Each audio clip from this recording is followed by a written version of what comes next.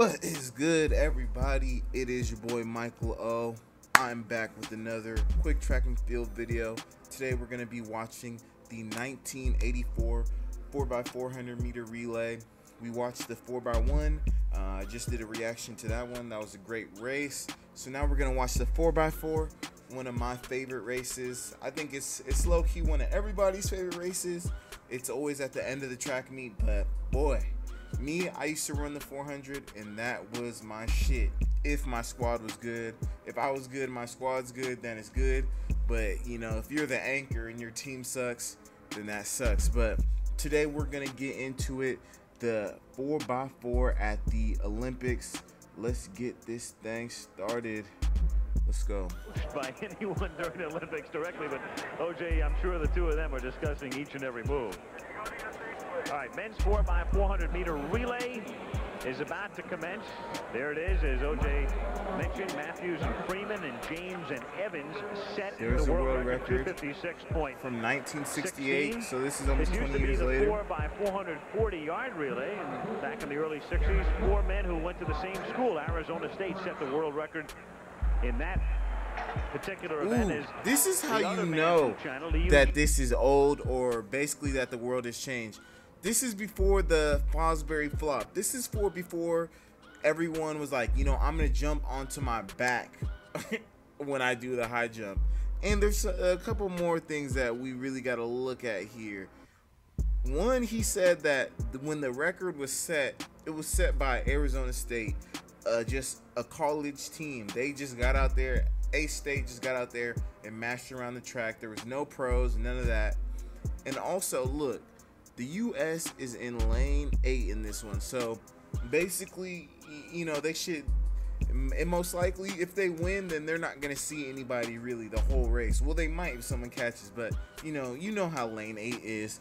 The fastest teams are usually in the center, so all that's very interesting here, especially that little high jump of the guy just just trying to jump over. who went to the same school, Arizona State, set the world record in that particular event as the other man from China, Liu Yun, misses his first attempt at 7-5. Second But attempt he's at going over 7-5 that and a like quarter, that at so only one more 7-5, remaining for him And he got at that bounced. Yeah, Liu is one of the last of the straddlers. In fact, I believe he's the only straddler that we have in this entire competition. Oh, he's the last person still jumping. Now we'll turn our attention once again, and we'll keep going back and forth, obviously, as the high jump progresses simultaneously. But there are the men who will run the 4x4 for the U.S. Sunder Nixon, Ray Armstead, Alonzo Babers, and Antonio McKay, who was disappointed when he Drink won only water. the bronze medal in the 400 after it was billed as a great duel between McKay and Bert Cameron, who couldn't even make it to the final because of a leg injury. There's our And uh, squad. the United States changing a couple of people in the last couple of days on this juice as they have been uh, spreading out the workload, but they're going with their four best now in the final.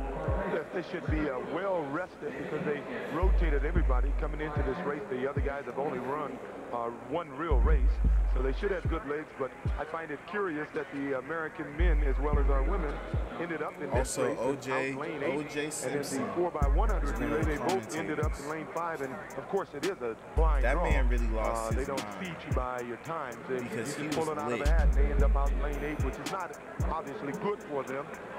Okay, we got The Sunder toughest run Nix is who's to be our fifth in the first 400. He's going to have Sunday Uti. He's looking like the uh, in leadoff lane leg. We'll see what from he Nigeria does. chasing him. That's Sunday Nix. And that should be the only competition. All right, meanwhile, He let's better go down to Donna. de Varona. Donna? Thank you, Al Michaels, and I have Carl Lewis with me. He's just been carried off the field on top with his teammates celebrating this victory. Put it in perspective with, for us, Carl. How important was this world record? There hasn't been one broken at track and field. That was from the well, 4x1. To end the meet with a world record, just like in Helsinki, it makes it real special. But the Americans are always put under a lot of pressure as a relay team to do the job. And for us to come together with all the adversity we have, being the best sprinters in the world, and able to do it right here in front of our crowd, can't be topped. Four gold medals. What are you going to do with them all? Well, I was looking for Ruth Owen today because I was I'm thinking about sell 'em. dedicating one to her because without the inspiration that Jesse Owens was able to give me, I I'm wouldn't gonna be here put them today. on So, eBay uh, I'm and I'm gonna dedicating sell one them. to them And I and the want a rest of my mill parents. for And what's next one. for Carl Lewis? Next, just to have a good time. I've enjoyed the Olympic Games. This has been a time of my life, and I want to thank millions and millions No, of people I'm gonna go I've gotten coach. so much support Next, and I'm going to trainers and people and everybody that have always helped me. Okay, thank you, and congratulations Carl. on making such incredible history. Back to the Now back to you, Al Michaels. Yes, it is, Donna, and I guess uh, the toughest burden any athlete I can love face Juice, is being expected to do I just something. love you how can packed it sneak is. I in, feel uh, like once in a while, and everybody says, "Gosh, maybe isn't it's that wonderful?" COVID And, or I don't know. I feel like do it? But the uh, Olympics Lewis don't was be looking like do it, and this. he did, and Like, that's pressure. Yeah, Yeah, the he's in a Olympics I no, uh, watched, they all I mean, look win packed, but there's situation just something because, uh, about this he's done it. Everybody say he should have done it, and if he hadn't have done it, they would have said uh, uh, he choked.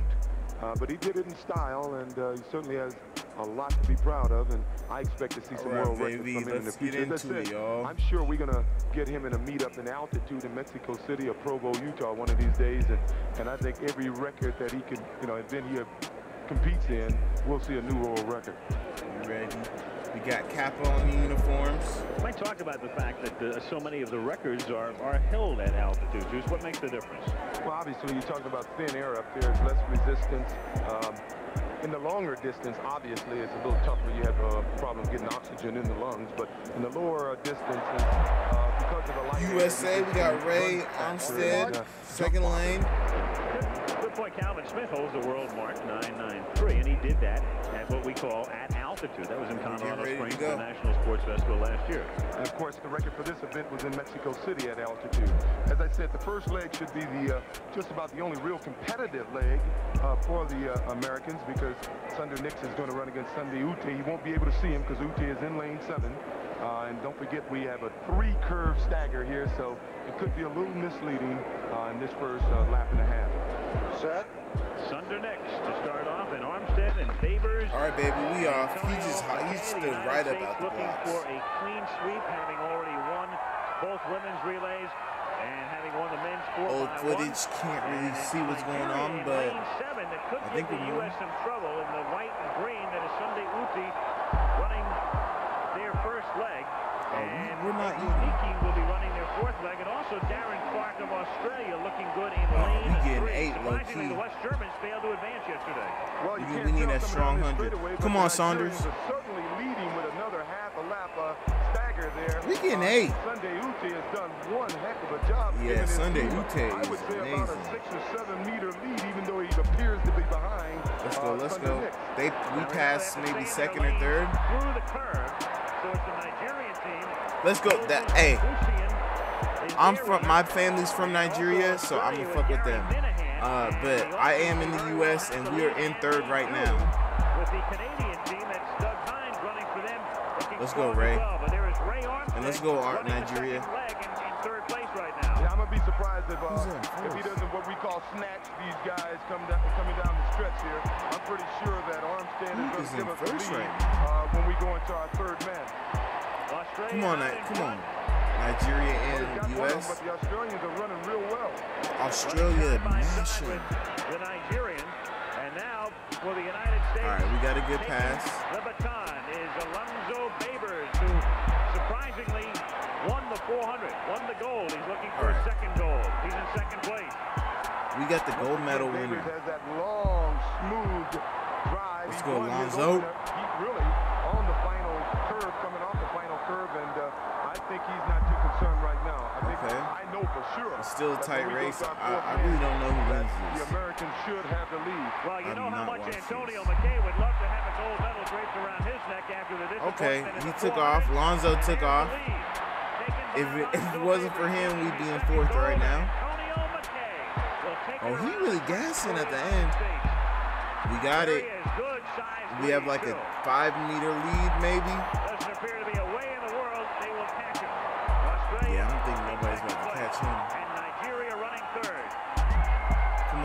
Oh, he's gassing One too. of the finest quartermen in the world, Antonio McKay.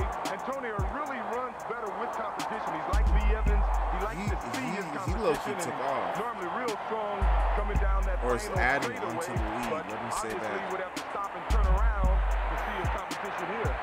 Oh yeah, it's in the bag. McKay on his way to that elusive gold medal in the relay. It's in the bag. for second place He's gassing, but they're going for second. Let's go Nigeria.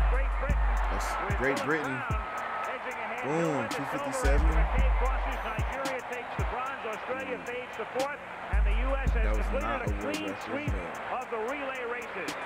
And so, The multi winners, we had Carl Lewis winning his fourth. Chandra Cheeseborough won two in one hour. Hey, I- I do not like- Hooks win three. I don't like one of these. And here for the. United States now, Alonzo Babers is too tight. has two, winning the open four and winning the four by four. And McKay adds the gold to his silver in the open four as the United States wins the four by 400 meter relay at the Coliseum.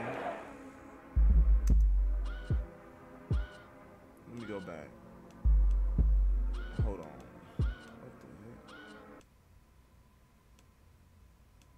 What the heck? By any All right. That was a that was a pretty good race. All I know is the our last two legs really took off. Our first two legs they were not doing it, but the last two legs secured the bag for us. Shout out to Alonzo and uh, that other dude. That was pretty entertaining, but the USB winning the 4x4, it, it's honestly amazing. Somewhat like that's one thing that is pretty much in the bag that the USA is going to win the 4x4 for the men and most likely for the women. And hey, it happened here in 1984. It, it, it happened all the time. Um, but that was a solid race. I wish they would have broke a world record or something, but they didn't and they took off. But that's it for today's video. I will be back. We'll be doing some more. We're gonna watch some more races. I just found a couple, and yeah, we're gonna watch him. We're gonna see what's going on. Uh, we're gonna be watching Ato Boldon run. We're gonna watch Michael Johnson run, and many, many more. Just some classics. Some people that we forgot about. You know, we kind of went into the the era of Usain Bolts, and now we're getting into Noah Lyle, Lyles, Christian Coleman. But we need to take a step back and we need to look at some real classic track and field from the 80s. Uh, I, I found some of Jesse Owens. I think that's the 30s. So we'll really take it back and just just get into some classics. But this has been another Michael O track and field reaction. Thank you to anyone who sees this video. Please, if you liked it, like, subscribe. Just tap into me with, on Instagram, um, you know, TikTok, Twitter, all that. Just tap in.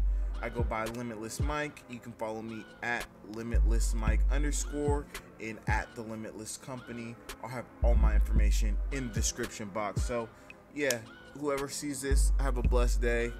Go go for a run. Go work out. Go get ready for practice. Peace.